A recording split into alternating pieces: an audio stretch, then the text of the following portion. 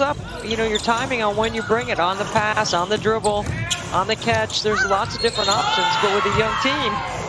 Comes Angel McCoughtry out of Louisville. First overall pick back in 2009 by Atlanta. Buries it. 47 to 25 hmm. was the rebound difference. And points in the paint were just about as ugly. Count the basket. Angel McCoughtry just is so smooth and her ability has a new contract and feeling good today. She has been outstanding for Minnesota on the offensive end. Now the general manager of the Indiana Fever, McCoughtry. That's part of her repertoire to steal. Got to the free throw line and here gets a steal in the open court. Looking good, McCoughtry.